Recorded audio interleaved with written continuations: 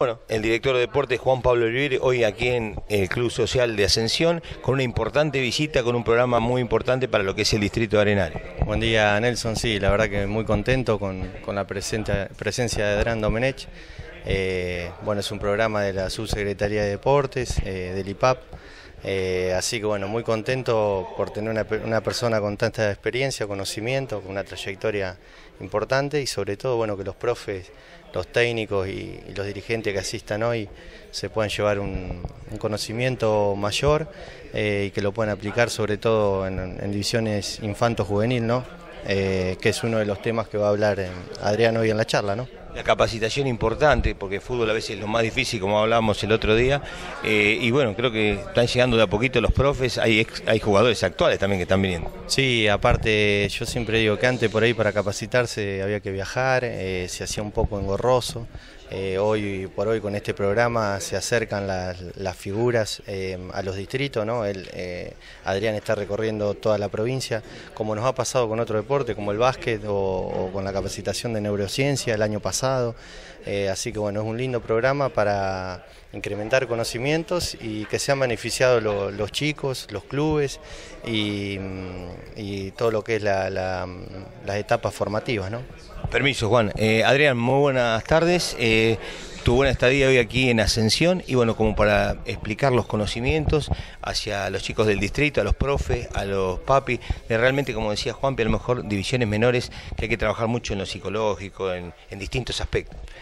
Buenas tardes, sí, sí hay que trabajar en la formación, o sea, lo que, lo que uno trata de brindar son herramientas, eh, en base a, tanto camino recorrido en, la formación y, precisamente de eso se trata, de, compartirlas. Eh, yo no vengo con ninguna receta, ninguna fórmula mágica, ni, a decir qué es lo que hay que hacer, sino a decir qué es lo que hago y, a mostrar qué es lo que hacemos cuando cuando hemos estado dentro de la estructura de un club y, tratar de generar un poco esa, esa docencia que se necesita en la formación, ¿no?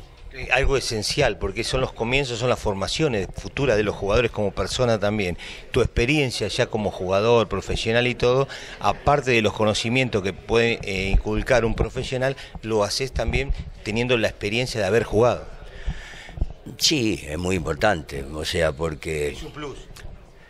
Seguramente, claro. O sea, te permite hablar desde diferentes ángulos, ¿no? O sea, una cosa son las experiencias que uno tuvo como entrenador o como formador y, poder transmitirla, que creo que es el, núcleo de, la charla, pero para llegar a, eso y para sacar conclusiones en el momento que, que se han sacado, también sirvió y muchísimo haber estado del otro lado, ¿no? Cuando sabes que le hablas a un chico...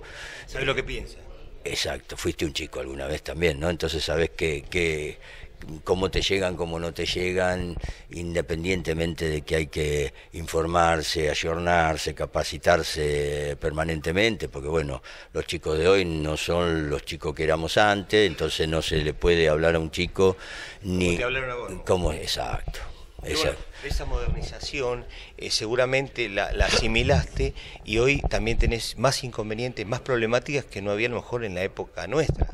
Y más ventajas también, porque yo creo que hay que mm, nutrirse de todas las, las posibilidades que te dan eh, desde lo tecnológico hoy, vos tenés acceso a a todo en el mundo, a, todas las metodologías de entrenamiento, de formación, entonces está bueno eh, no quedarse con, experiencias personales y nada más, sino eh, confrontarlas, verlas, compararlas con otro, eh, y en la prueba y no error, porque acá no, no se puede, o sea, no se puede medir mucho, o sea, no se puede jugar con un riesgo de que si me equivoco no importa, entonces después cambio, porque estos son chicos. Y este y si vos te equivo si vos te equivocas con un chico estás haciendo un daño grande. Entonces, de lo que se trata eh, precisamente es de, no equivocarse o, tratar de, no equivocarse exacto. Adrián, vos que recorres mucho el país, seguramente las problemáticas son distintas según los sectores donde se vive. Creo que a lo mejor no es lo mismo acá que Gran Buenos Aires. Tal cual, perfecto lo que decís. Precisamente por eso, hace un rato hablábamos con Juan Pablo, le pedí le pedí este, autorización como para abrirla la charla. A mí me gusta eh, no sentarme y hablar como un loro y repetir eh, conceptos. Este, me gusta intercambiar, interactuar con, con, los que están del otro lado y llevarme, eh, aprender de las diferentes realidades. ¿no? Entonces, este, em, si, si querés, eso es lo que a mí más me, me atrae eh, de estas charlas, ¿viste? Poder intercambiar, eh, porque sí, es, muy, hay un gran contraste y ni siquiera entre conurbano e interior de la provincia de Buenos Aires, inclusive entre eh, mismos lugares o parecidos lugares del interior de la provincia de Buenos Aires también existe ciertas diferencias, son cosas muy, muy del lugar, ¿viste? ¿Cuál es la problemática general, a lo mejor, que de lo que has vivido, que más se encuentra en distintos puntos? Ah, es varios, es un combo, ¿no? Eh, a ver, el, eh, si te tendría que resumir, te diría que hoy la pelota no es exclusiva como en otras épocas. Eh, en todo caso, en todo caso sí, hay más que varios deportes, hay este hay, un montón de, O sea, los chicos tienen una, variable de, entretenimiento que en otro momento no, se tenía, y bueno, esos son. Eh, momentos o tiempo que le robás a la pelota y lo que le robás a la pelota se lo robás a la técnica. Básicamente eso y, y la falta de modelos, la falta de formadores por ahí el, priorizar el resultado por sobre la formación y... Grave error. Sí, obviamente. Eh, pero bueno, eso lo pienso yo eh, y es lo que transmito y, lo fundamento. Pero bueno, en definitiva después la opción está de los que lo escuchan. Si este, e, ese es es lo pretendido. Si, si generas conciencia, aunque sea en uno de, todos los que hoy concurrieron acá a la charla, yo me voy contento. ¿viste? ¿Cuál es la edad que te parece a vos es la edad de competencia pura? Nosotros acá tenemos distintas categorías, posiblemente con Buenos Aires, de distintas edades. Y como somos distritos chicos, por ahí se, acoplan de a dos categorías de dos años juntos. Eh, posiblemente a lo mejor después de los 13, 14 años, a lo mejor es la edad de competencia pura. Eh, a ver, eh, naturalmente el chico quiere competir desde que quiere. No, no, no, el chico. Yo voy a lo puro. por más que vos le saques la competencia a un chico, el chico sale a jugar a los 6 años, 7 años, juega con amigos y, quiere ganar. el que gana y el que pierde, los dos salen a ganar. Este, el tema es eh, saber formarlo, saber bajarle concepto, cosa de que ni el triunfo ni, ni el perder le sea, sea dramático, exacto. Eh, sean extremistas en ninguno de los, de los dos casos, ¿viste? Y después sí, obviamente, en la medida que uno va creciendo, o sea, la formación es todo, eh, va desde los seis, un rango que va, yo por lo menos entiendo que va desde los seis hasta los 18, 20 años, ¿no? Para ya después dar un paso al alto rendimiento, el, estamos hablando de jugadores de rendimiento, ¿no? Este, entonces, es un proceso. La formación es un proceso, como todo proceso tiene diferentes etapas. Eh, en una etapa tenés que eh, jugar para aprender y en otra etapa tenés que aprender para jugar. El problema es cuando saltás alguna etapa. ¿Cómo corregirlo?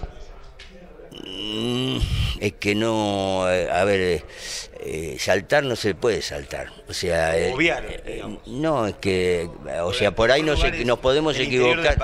No, nos podemos equivocar lo que estamos a cargo de grupos de hacerle vivir o hacerle perder una etapa al chico, que en definitiva lo termina pagando, porque no se pueden saltar las etapas, eh, eh, como que estás en tercer grado, por mejor alumno que seas, inteligente, no te puedo poner en séptimo. Este, en algún lado me vas a, vas a pagar de que no haber hecho cuarto, quinto y sexto, ¿no? Ahora te saco un poquito de este tema. Conviviste con uno de los más grandes, o el más grande del mundo, con Maradona, jugaste, eh, compartiste con él cosas. ¿Alguna vivencia de, de tu parte en la época de jugador? Fuimos grandes amigos, fuimos mm, hasta como hermanos en algún momento con Diego. Nos conocimos de muy chico, hicimos todo el proceso de, de formación juntos este, ¿Nacieron futbolísticamente en el mismo sí, club? Sí, nacimos, nacimos en el mismo club, somos de la misma edad, este, eh, sí, fuimos, fuimos, después, bueno, crecimos y, este y las diferentes mm, situaciones nos fueron este, por ahí, no alejando mal, pero bueno, no, no, no, no frecuentar este, no, no frecuentarnos, ¿no? No, yo ahora hace rato que no lo veo a Diego, pero bueno, eh, sí tenemos muchas vivencias juntos. Bueno, que disfrutes, no te molesto más, seguramente están por empezar, tendríamos para charlar todo el día, seguramente los que nos gusta el fútbol, para poder alimentarnos de estas vivencias de gente que ha jugado y ha jugado en alto nivel. Bueno, te agradezco muchísimo.